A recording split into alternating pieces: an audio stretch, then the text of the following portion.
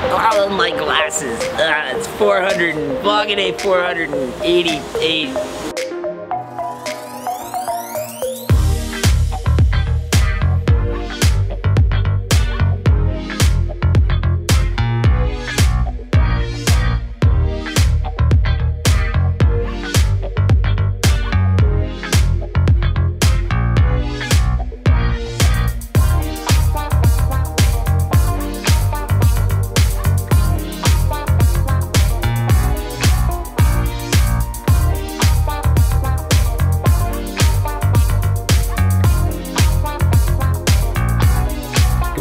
It's Thursday, which means for you, it's French Friday. And in this instance, today we're going to be talking, feels like I should have snapped when I said French Friday. We're going to be talking about tipping in France today, whether or not you do it, when and where you do it, and how you do it. I went on a great run with Mike. Thank you, Mike, for that. It was really nice to catch up and uh, get my run on. I'm only one run away from getting my third run of the week. And also, Norma Jean and Cynthia, thank you so much for jumping on Patreon. I have I have new patrons as of the last two days. Thank you for joining. It really made my morning to get. Thank you very much. I appreciate it. If you guys are interested in getting camera two, which is full, in case you weren't sure. I'm gonna figure out how to give this away. This is only, once again, the cameras only go to patrons who want them. I also don't wanna send this to somebody who doesn't want it, but uh, I'll make a post fairly soon to start that selection process. After the pin thing is over, the pin thing is gonna be over by the time this posts. So if you haven't uh, voted on the pin that you want, yeah, you missed out, sorry. But the West Coast road trip poll is gonna be open for another few days, uh, maybe even a week. It's gonna be open for a while. So if you haven't voted on the West Coast road trip, please do make sure to vote on that. I will link to it below. And then uh, if you are not a patron yet and would like to be a patron, or you're thinking about it, or you want this thing, make sure you jump on board. This is going to go to, on this first round, I think it's gonna be available to everybody. But on the second round, I think in the future, we're gonna do it for only $3 and up or something like that. We'll figure it out. But We'll figure out exactly what the rules of engagement are going to be for this when we get to it. For now, I need to go get some information from my bank, and then I'm going to go join Natasha. We're going to get some work done, and we'll talk about tipping culture in La France.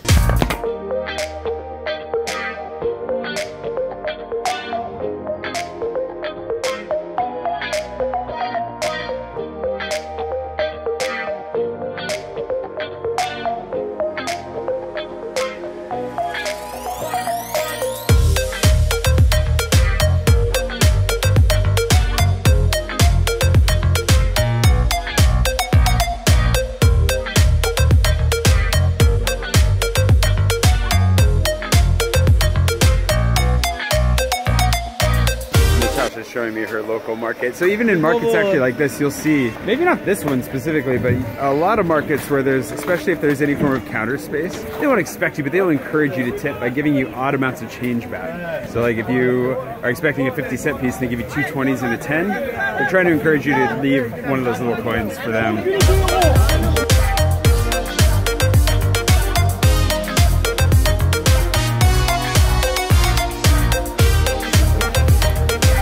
You don't have to tip in a market ever. Uh, it's just one of those things. Where, I mean, if you have a really good experience with somebody, leave them twenty cents.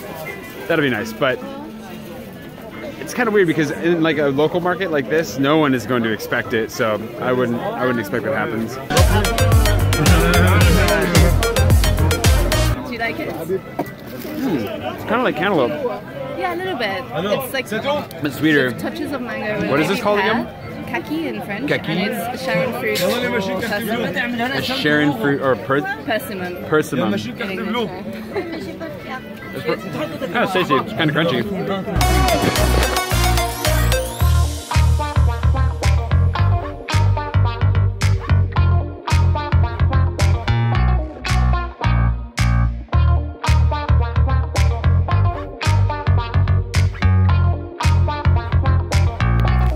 bought my plane ticket to go back to America, but I, I turned off the computer before that. I'm really irritable today. Poor Natasha's having to put up with me being really irritable.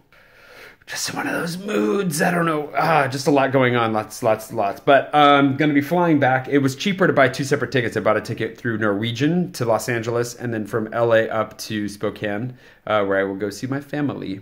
It was like 100, 150 euros cheaper than anything I could find. And actually, the only things I could find were with Turkish Airlines for like 650 euros. That would have taken between 22 and 37 hours because I think you had to fly through Turkey and it was going to be really terrible. And then this is a usual one day flight to Spokane that I just pieced together myself for 82 euros to fly from LA up and 430 euros to fly from here to LA.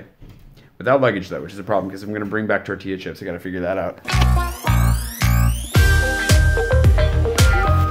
Running into these film students on the side of the canal here.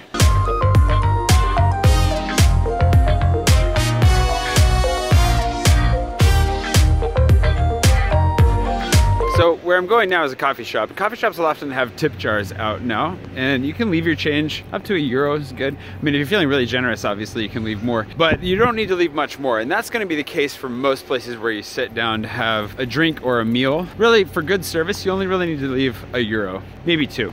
That's just kind of polite. Australians don't worry. It's not offensive to leave a tip. However, if you're going to a really nice sit down place, I figured I'd talk about it before we got to the coffee shop because I didn't really want to be standing there talking about tipping them in front of them. I don't know, it seems a little bit weird. But if you're going to a really nice sit down restaurant, like a nice place, well, and by nice, I don't mean to put that much emphasis on it, but if you're looking at something in the range of like 40 to 50 euros a plate minimum, going up from that, then you might want to be thinking about leaving an actual tip of 10%. And the same is true of like a place where it's like even 20 bucks.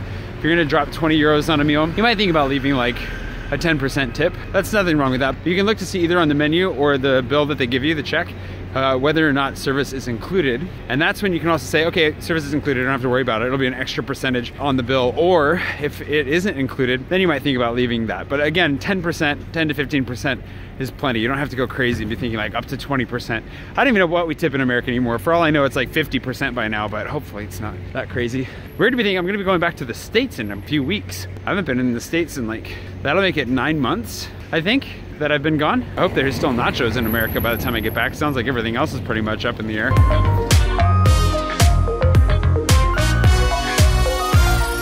Oh no! Dang it, they've opened the entrance on the other side again already. I can't win. Hoping to get some coffee before I sit down, but this looks really nice.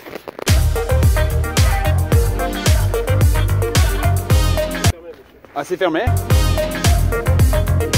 Ended up having my phone call with InstaFreebie on this bench between Pan Am and Pavillon because Pavillon was closed. I don't know what they're doing. It said it was private or something. Even though on their website it says they opened as of yesterday. They reopened. I don't know. They were a little bit, they weren't the nicest about it. So I'm gonna meet Natasha here now and then uh, have another call with Nimit in an hour. But we can finish talking about tipping here in a second.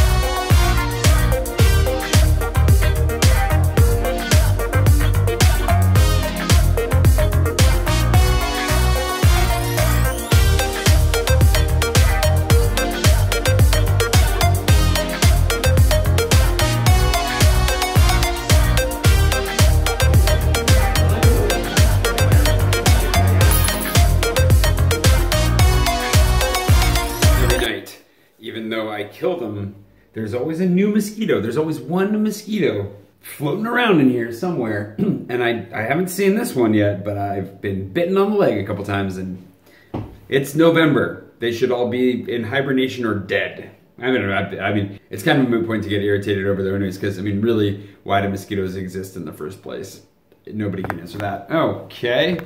Welcome back there, camera. Yikes. Lots of technical problems today. This thing and my computer both not being happy. So, uh, the last thing on the tipping front is gonna be experiences and service. So, tour guides, bellmen, um, if you are, happen to be in a hotel that has bellmen, and if you are, awesome. Those kinds of things, you definitely do end up tipping a little bit better. Taxis, a little bit, you might leave, again, you might leave a little bit, but Generally, I don't. I, I, wouldn't tip in a taxi. I would tip. I, obviously, I was a tour guide over the summer. Totally, uh, really appreciated all the tips that I got. In fact, I very much needed them. So the tipping on that front, if you, especially now, here's the thing: if you pay for it, definitely uh, it's okay to tip a little bit less if you're paying for your tour. It depends on the situation, of course. But if you have a tour guide who's giving like a free walking tour or something like that, where you literally just show up and go on a tour for free, that person is only making money on tips, which should be obvious, but maybe it's not. Any of those tour guides definitely do tip. If you have a good time, really, it's pretty